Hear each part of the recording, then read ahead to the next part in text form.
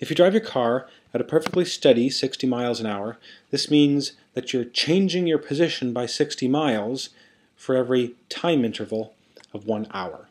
This is called uniform motion, when equal displacements occur during successive equal time intervals. A good example is riding steadily over level ground. Uniform motion is always along a straight line, as shown in this motion diagram.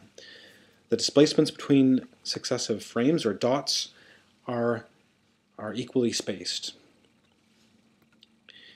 An object's motion is uniform if and only if its position versus time graph is a straight line, as shown here. The average velocity is the slope of the position versus time graph. The units are meters per second. You find it as rise over run. In this graph, it's delta x divided by delta t. Things to keep in mind, steeper slopes correspond to faster speeds on a position versus time graph. A negative slope means a negative velocity. Uh, the slope is a ratio of intervals, not a ratio of coordinates. You can't just do x divided by t. You have to do the change in x divided by the change in t. That's important. Also, we're talking about the physically meaningful slope. So it is the, the rise, which is how far something traveled, divided by the run, which is actually a time interval in seconds. So this is not an actual slope in degrees. It's what we call a physically meaningful slope of a position versus time graph, which is an average velocity. The equation for uniform motion can be found by considering an object in uniform motion along the s-axis. So s is a generic symbol which could either stand for X or Y, whether you're dealing with uh, horizontal or vertical motion, or even uh, diagonal motion. The object's initial position at time t sub i is s sub i, and at a later time t sub f, it's at some final position s sub f. We call the time interval delta t, and the final position can be found as the initial position plus the velocity times delta t. It's a nice equation. Distance is a scalar quantity, quantity which doesn't have a direction, but displacement is a vector quantity, which has uh, magnitude and direction. Speed is a scalar quantity in physics. It's what's read off the speedometer in your car, so it's always a positive number. But velocity is a vector quantity that includes direction. And if you're talking about one-dimensional motion, you can specify the velocity by, uh, by putting a plus or minus sign to indicate direction. An object that is speeding up or slowing down is not in uniform motion. In this case, the position versus time graph is not a straight line, but it's curved. And we can determine the average speed between any two times by finding the slope of the straight line connection between the two points but what we'd like to find is the instantaneous velocity, the object's velocity at a single instant of time, t.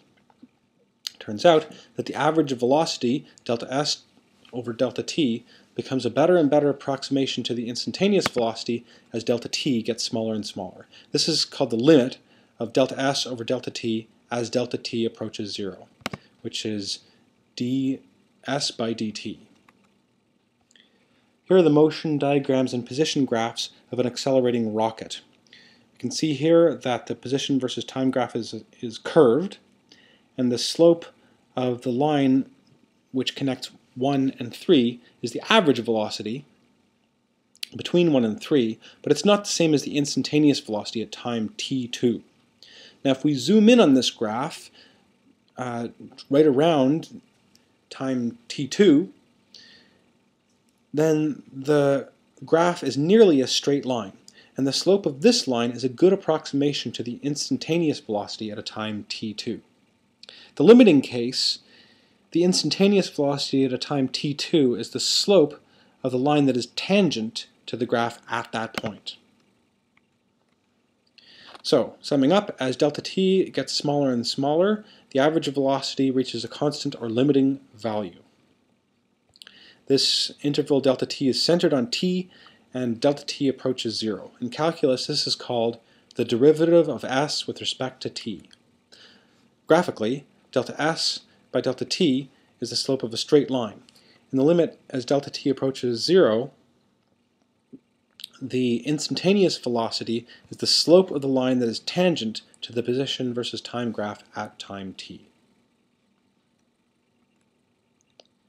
So ds by dt is called the derivative of s with respect to t. This is the slope of the line that is tangent to the position versus time graph. So if we have a function which is some power law, c times t to the power n, where c and n are constants, the derivative of u is c, or is n times c times t to the power n minus 1. Another result is that the derivative of a constant is 0. If u equals a constant, then du by dt is 0. Lastly, the derivative of a sum is the sum of the derivatives. If u and w are two separate functions of time, then d by dt of u plus w is equal to du by dt plus dw by dt. So let's do a quick example. Suppose the position of a particle as a function of time is given by the function 2 times t squared, meters where t, the time is in seconds. What is the particle's velocity? Well, you can do the derivative using the rules of calculus and find that the function for v is 4t. So the position versus time graph is this curve, t squared, and the velocity versus time graph is a straight line, 4 times t. And as it turns out, for any point on the velocity graph, it the velocity graph gives the slope of the position versus time graph at that same time. Here the value is 12 meters per second at 3 seconds, and the slope is 12 meters per second at 3 seconds. Suppose we know an object's position at an initial time, and we also know the velocity as a function of time.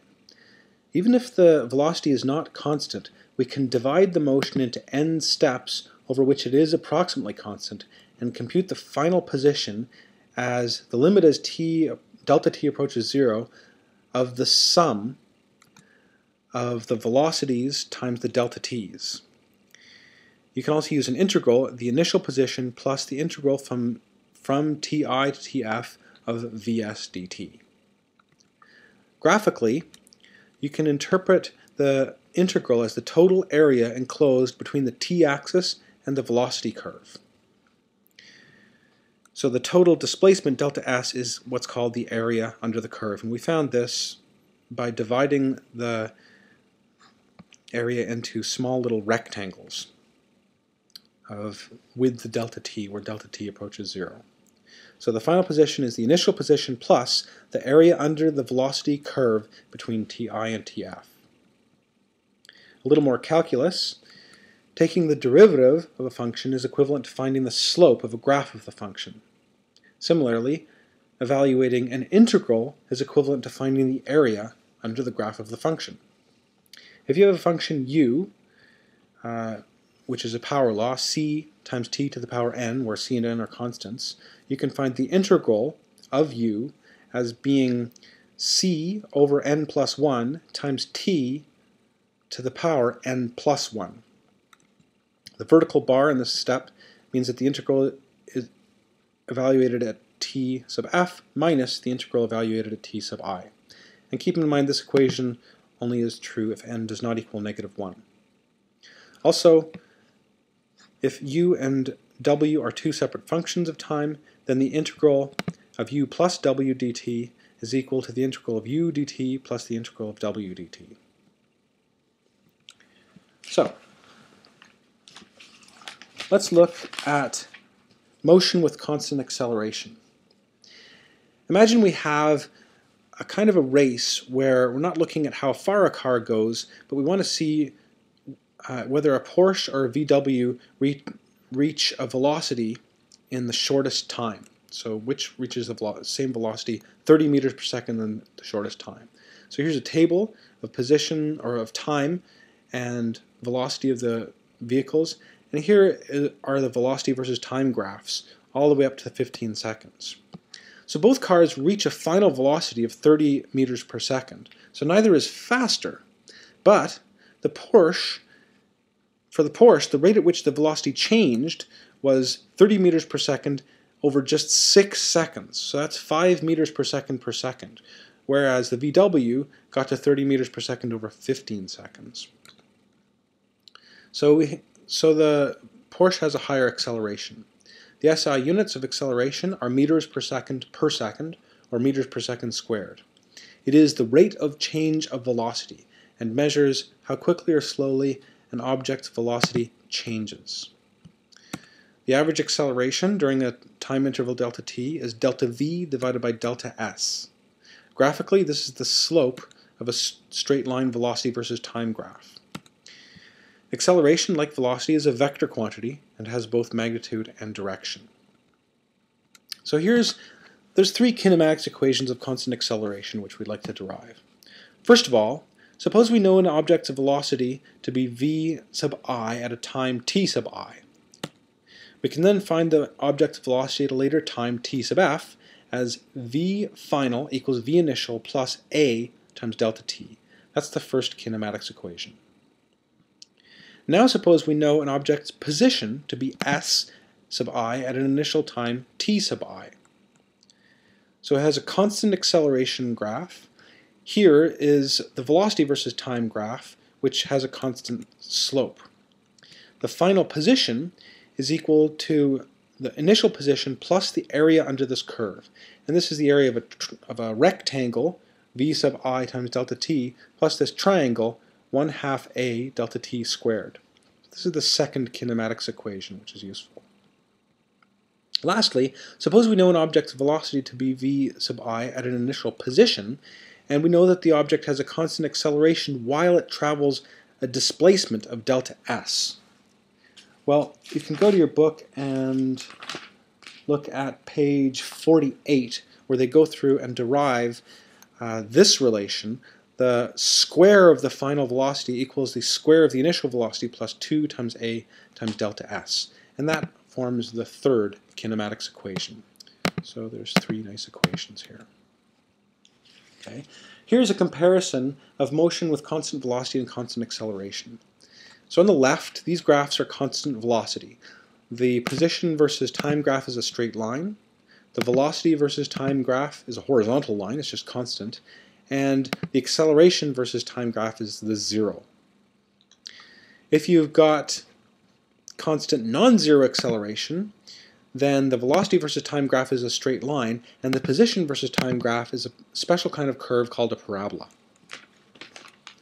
So the problem-solving strategy for kinematics problems with constant acceleration, you model, you visualize by drawing a diagram and graphs. You can use the three kinematics equations to solve, and here you can use x or y as appropriate to the problem rather than the generic s. And keep in mind that for uniform motion, constant velocity with, with constant velocity, you have a equals 0, which simplifies all of these equations. And finally, a set.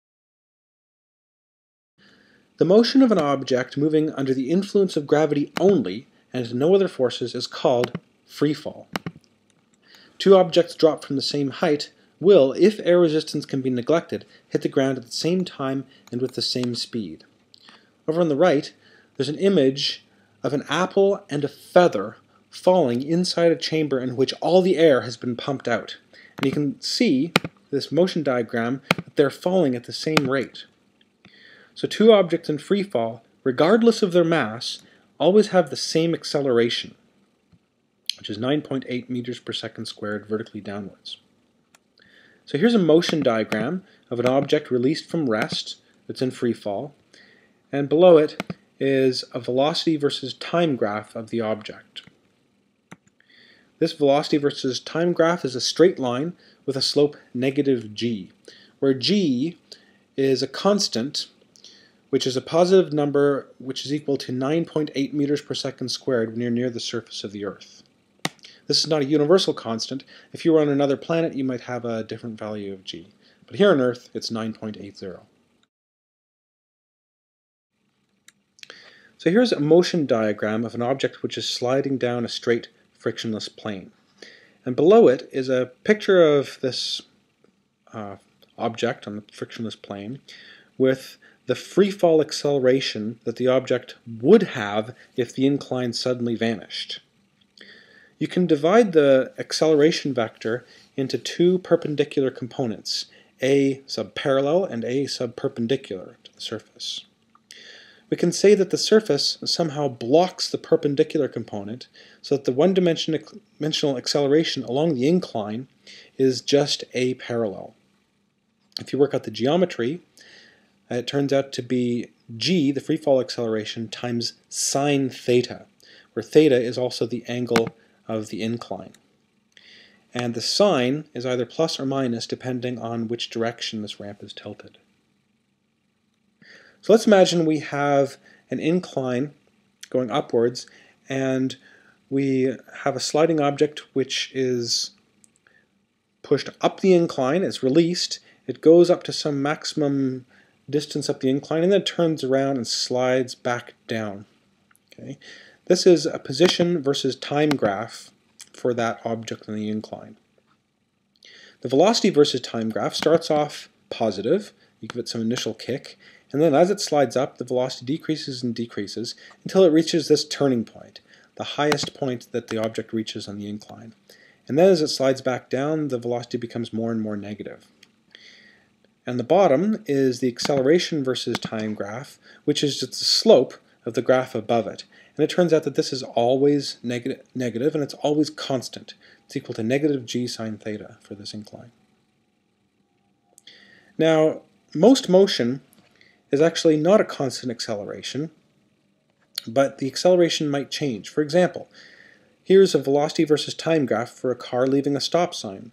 Initially, the velocity is changing very quickly, and then as the driver sort of releases the gas and starts coasting, the velocity gets uh, is changing less and less quickly. So this graph is not a straight line, so it's not motion with constant acceleration. Here's the acceleration graph. The value of the acceleration is equal to the slope of the velocity versus time graph. Okay, so the acceleration is dv by dt, the slope of the velocity versus time graph at a time t. So suppose we know an object's velocity to be v sub i at an initial time t sub i, and we also know the acceleration as a function of time. Even if the acceleration is not constant, we can divide the motion into n steps of length delta t in which it is approximately constant. In the limit as delta t goes to 0, we can compute the final velocity as the initial velocity plus the limit of a times delta t, of all these, the sum of all the little rectangles. Using an integral, this is the initial velocity plus the integral from ti to tf of a times dt. Graphically, this can be interpreted as it's the initial velocity plus the area under the acceleration curve between t sub i and t sub f.